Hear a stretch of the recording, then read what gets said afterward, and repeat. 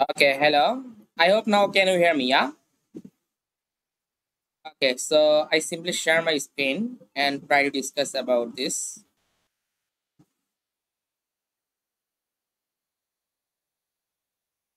Okay, so now can you see my screen? Yeah?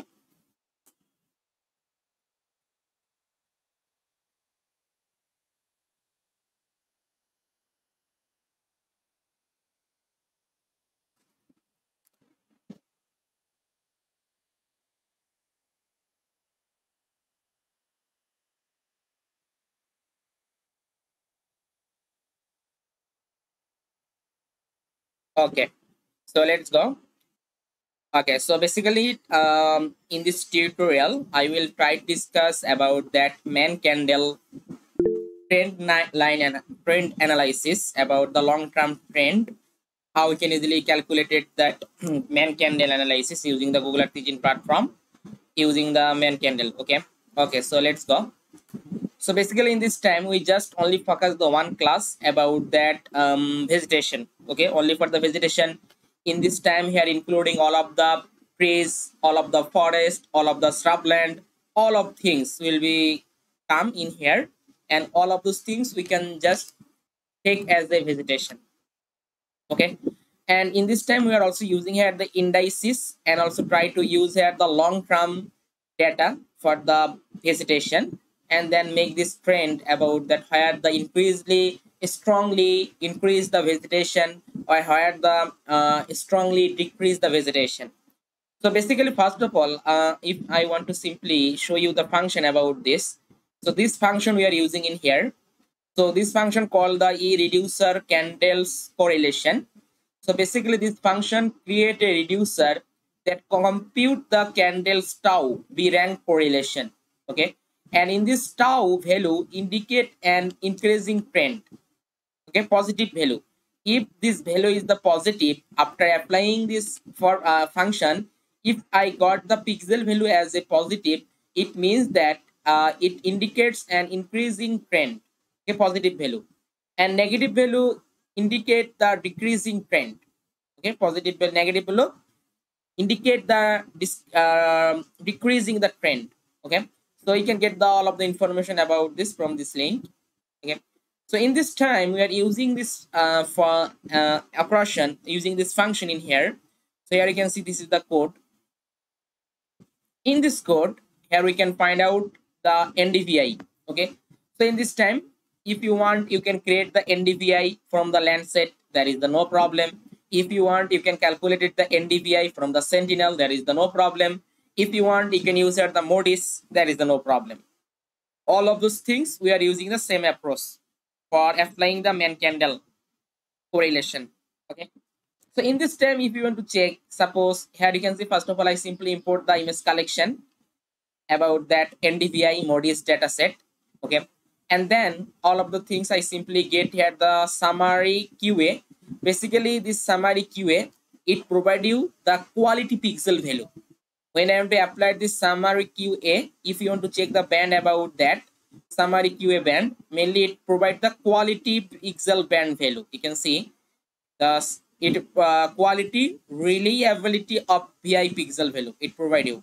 Okay, so I simply set this QA and set equal to zero and update mask and clip with my geometry. After that, I simply select my time period. Okay, so I simply use there this time period such as you can see it will be start from the 2000 because this data set will be available from the 2000 so i put here this 2000 to 2020 and now you can use your own uh, sequence. Suppose you want to put here this from um, may to december. In, in this time period you want to observe what is the condition of the vegetation okay between this time period or of 2002 to the 2002 2020 okay or growing season. Any time period you can put this time period or rainy season or summer season what is the condition of the NDVI over a period of time we can check it.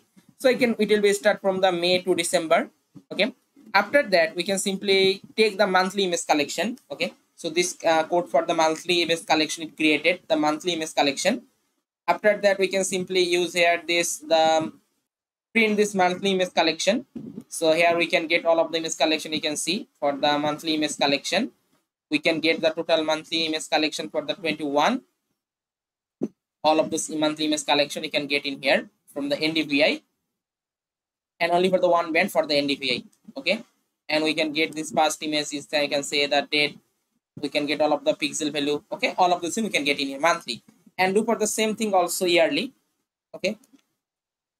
Also do for the yearly okay? So now i want to make the trend analysis by yearly data set okay? By yearly data set we just try to find out the trend analysis so that's why i can simply use at the ndvi trend take a variable name and call this yearly because it stored all of those yearly data set. You can see total 20, 20 21 years. Okay? 21 years data set we can get in here. 21 data set we can get in here. Has the 2000 from. Also you can see the last time period is that 2020 so all of this year i want to use in here and from this collection i want to just find out that Kendall correlation. Okay? After applying the Kendall correlation i want to check the value about that. Basically this value will be negative 1 to positive 1 and negative value identify the decreasing the vegetation. And positive value identify the increasing the vegetation. If you want to check the value suppose in a speedo tab and click on the any types of uh, suppose this pixel value i want to check about this test and then check we can get the negative value. If you want to check it we can get the negative you can see. For the ndvi tau value we can get the negative okay? For it it means that for this region strongly decreasing the vegetation over a period of time. Suppose you want to check the for the vegetation click on here. Now we can get the positive value. It means that it will be strongly increasing the vegetation over a period of time okay? So we can get the result look like that you can see so now further analysis, if you want to calculate the area, suppose how much area will be increasing, increasing or decreasing over a period of time, then we have to uh, just extract the TP images from here. So just extract the TP images. So for that, I also write the code for the extracting about this TP images. So, okay. In this time, we don't need to calculate the Sen okay just we try to find out only for this uh Mann Kendall trend analysis about that.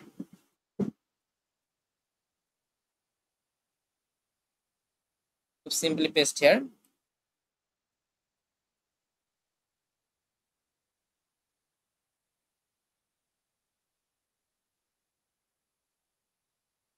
Okay then i simply put this. It's in the ndvi print. Then click to the run. So now it will be exported and we can easily import it in the ArcMap software or QGIS software for making the further analysis or calculation the area.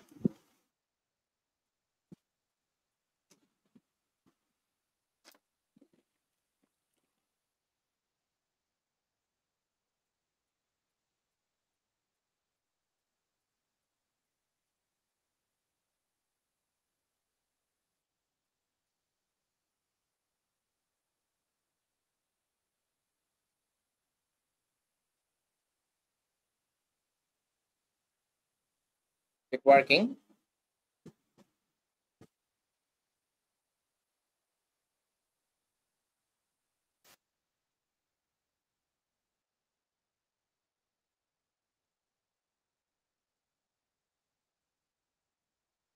Also you can see Sen slope what is the Sen slope so mainly the Sen slope uh, it has the two input reducer that compute the scene slope estimator the inputs are the expected to be x data followed by y data. In return two double values, the estimate the solve and, and the offset. Okay. So solve and offset when you want to calculate, then also using here the Sen slope function. So in this time we are not focusing on this part. We just try to focus the trend. Again, what is the trend about this tau value? When it will be high or low, we can get this result in here. Okay, so this is our classification. We can get like that uh, increase and highly increase the vegetation and highly decreasing the vegetation over a period of time or long time NDVI analysis. NDVI means that vegetation. This time we try to discuss about that.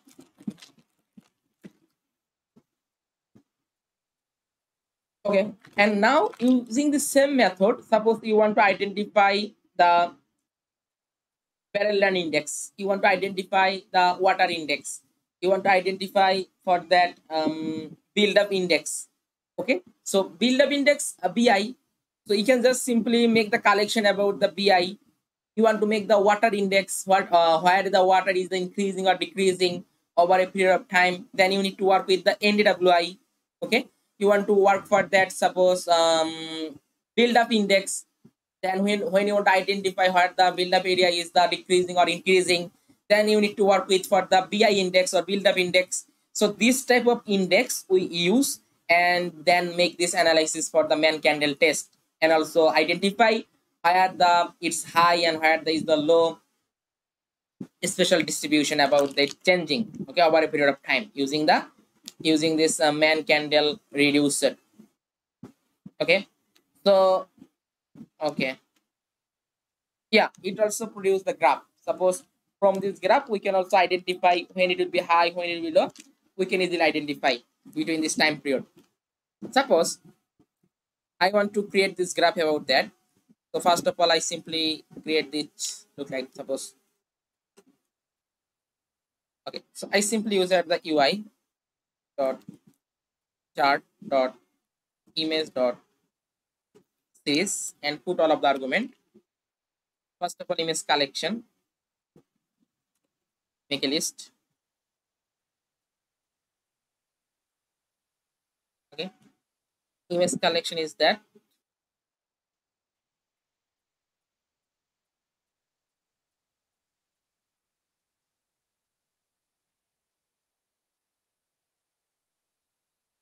I simply copy. Okay so